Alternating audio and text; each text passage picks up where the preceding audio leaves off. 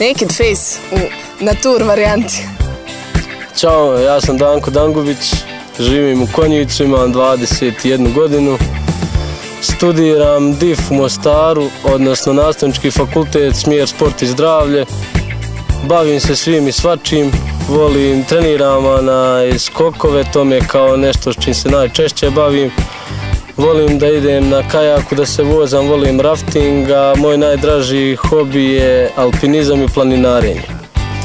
Sada je trenutno ovdje smo pod ovim našim šatorima na Boračkom jezeru i neke TV je došla samo da nas snimi i da zajedno čergarimo pod našom čergom. Kako izgledaju tvoji izlazci? Imaš li vremena da ono, provedeš noć sa prijateljima, logorska vatra ili izlazci u gradu?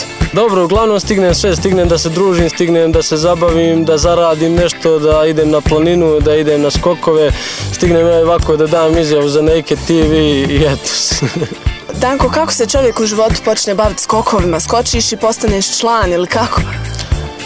Počneš da se baviš zbog para.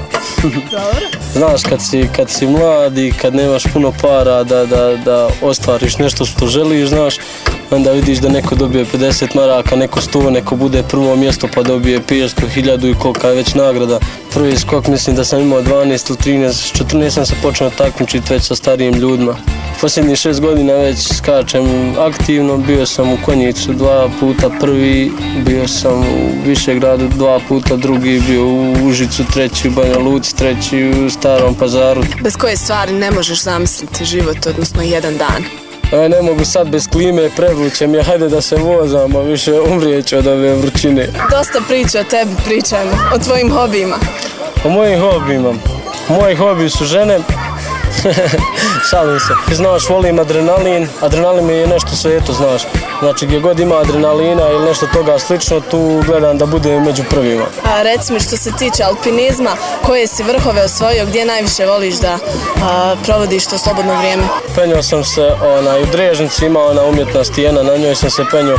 Penio sam se tamo po Otišu i po Zelenoj glavi na nekim mjestima gdje se može penjati na a što se tiče planinarenja, to sam obišao sve, sve Bosne, sve planine u Bosni i Hercegovini. sve Bosne i Hercegovine čovjek obišao. Sve Bosne i Hercegovine u planini. Evo kao takav pozitivan primjer, ono šta te nervira na mladim ljudima? Ništa. Ništa, Boga mi. Sve mi je ravno do mora, vidi. Ljudi su svi različiti sami po sebi, tako da mi je apsolutno svejedno onaj, nemam, nemam nešto da me posebno nervira. Dok mene niko ne dira, ostalo je sve u redu, znaš.